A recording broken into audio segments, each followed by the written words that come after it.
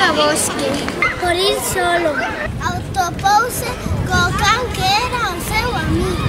E meteronse no medio do bosque. Viron unha casa e querían ver lo que había dentro. E ao entrar atopáronse co un fantasma.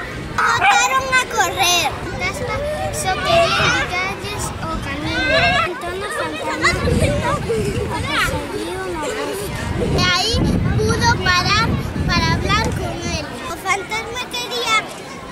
dicirles que quería ser o seu amigo. Entón xa, xa non tiveron medo do fantasma. Entón díxose o camino para volver a casa. E por eso, desde aquel día, fantasmas.